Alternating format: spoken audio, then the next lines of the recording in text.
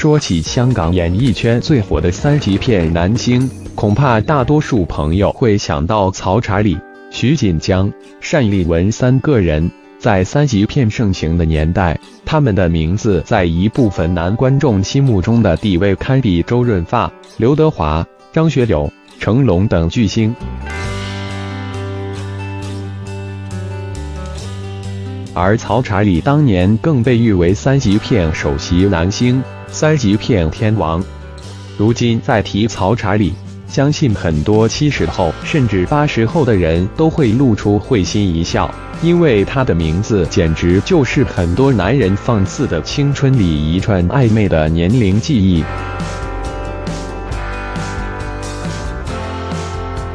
据小飞了解。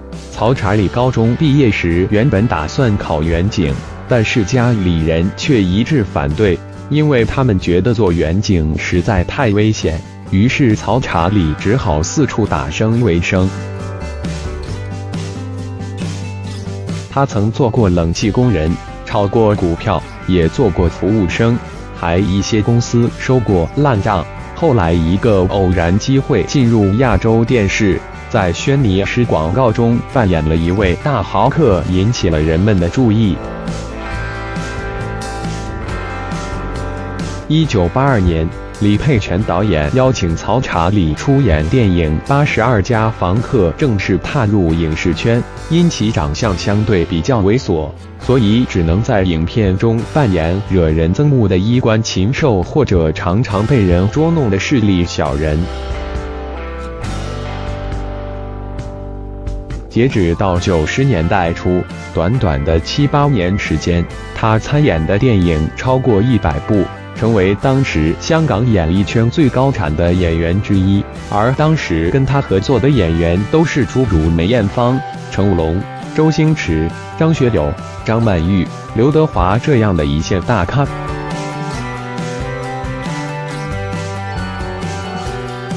九十年代初。香港三级片开始盛行，多年来一直演反派、小人物的曹查理演得有点烦腻了，同时也深知自己爆红无望，所以他心一横，就接拍了何帆导演的三级片《我为轻狂》。因为他在剧中表现太过出彩，受到片商的极大青睐。纷纷点名要他出演自己投资的三级片，从而堵死了他朝其他戏路发展的道路。当时的曹查理根本没有想很远，反倒觉得拍三级片比较舒服。一是拍摄时间短，一部戏最多十天八天就搞定了，而属于他的戏份最多三五天，而且一天最多拍六七个钟。少则两三个钟，这样他一天可以兼拍三部戏。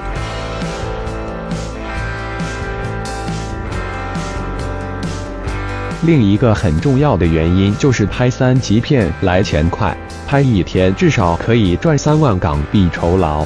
如果兼三部戏，一天就能赚九万块，一个月下来少说也有两百多万。于是两三年时间，他就买了车，买了房。据媒体统计，光一千九百九十二和一千九百九十三两年时间，曹查理就主演了近四十部三级片。而迄今为止，他一共拍摄了八十多部三级片，几乎跟所有港台的艳星都有过合作。用曹查理的玩笑话说，自己几乎睡过当年港台所有的艳星，同时还有不少日本艳星。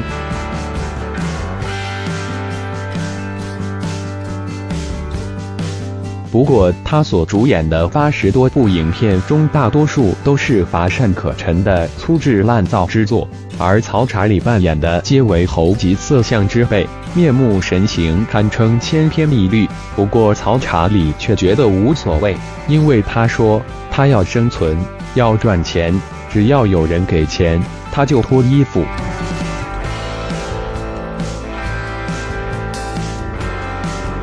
虽然他主演的影片质量不尽如人意，但是在三级片辉煌时期，他的人气一直居高不下。连影帝黄秋生都坦言，他当年出演人肉叉烧包时，完全借鉴了曹查理的表演。有道是，一个人天天都吃山珍海味，久而久之都会如同咬蜡。同理，常年累月拍三级片，也有拍到乏味的时候。大约在一九九六年，曹查理开始减少拍片量，不是他不想赚钱，而实在是拍的厌烦，因为整天就是脱衣服和穿衣服。用他的话说，就是拍五天戏，至少有三天脱衣服，两天不用脱衣服。于是他暂停了演艺事业。将时间和精力投入到炒股中，甚至不惜将几栋房子、几部车子全部卖掉了，用来炒股。万万没想到，最后会血本无归。为了生存，他不得不再次复出拍戏。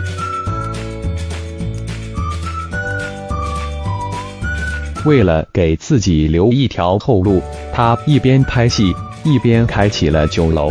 刚开始一两年，因为有社会各界的朋友帮衬，生意还不错。但是零三年却遭遇 SARS，导致他所开的几间酒楼全部被迫关门。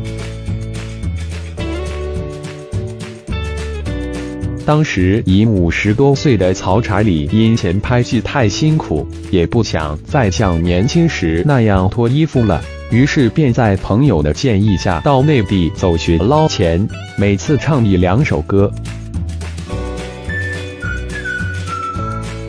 跟观众做些小游戏，或者讲一两个荤段子，要么送一些自己之前主演过的三级片光碟，一场下来大概三五十分钟，酬劳一万两千块。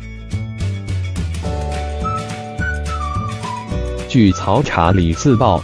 目前他在内地至少有近四十个经理人，每个人一年帮他接两场商演，一年下来就有七八十场，也就是说一年收入可以达到近百万元。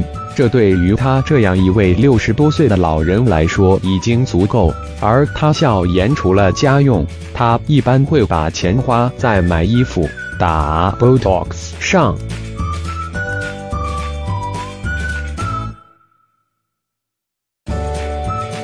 虽然在演艺圈打盼了几十年，也睡遍了几乎整个娱乐圈的三级片艳星，但是他却从来没有过绯闻。